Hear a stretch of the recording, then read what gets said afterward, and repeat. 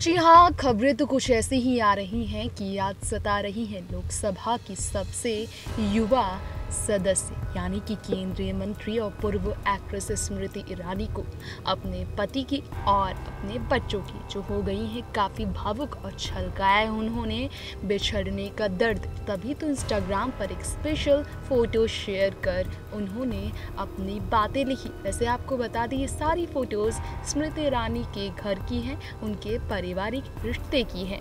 अपने पति जुबिन ईरानी और बेटे के साथ जो तस्वीर उन्होंने शेयर की, अगर अगर उसकी बात की जाए तो तीनों लोगों के चेहरे खिलखिला रहे हैं।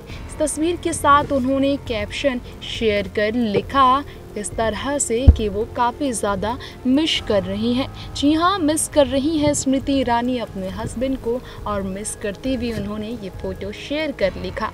मेरे घर की हँसी कुछ पल के लिए बाहर है। जी हाँ कुछ पलों के लिए बाहर है उनके घर की हँसी। उनका घर अधूरा है जब उनके परिवार ने उन्हें छोड़ा है। स्मृति ईरानी ने इस तरह की खबर दी है। बेहद ही दुख भरी, बुरी खबर है स्मृति के लिए फ़िलहाल, क्योंकि वो है दुखी अपने परिवार के बिना।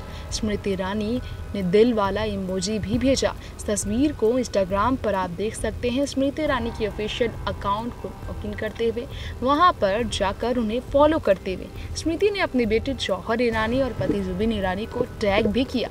यानी उन्हें बताने की कोशिश की है कि वो काफ़ी ज़्यादा दुखी है।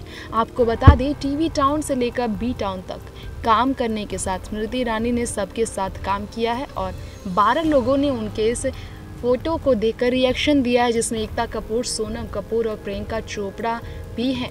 बता दें हम आपको, स्मृति ईरानी के दुख को समझते हुए सबने उनका साथ दिया है। पीएम नरेंद्र मोदी की कैबिनेट में महिला एवं बाल विकास मंत्रालय का जिम्मा स्मृति ईरानी के सिर पर सौंपा गया है। ये आपको बताना चाहेंगे, लोकसभा चुनाव में स्मृति ईरानी ने उत्तर प्रदेश की अमेठी सीट से राहुल गांधी को इस बार हराकर ऐतिहासिक रिकॉर्ड बनाया है। S P N nine news room से तृप्ति रिपोर्ट।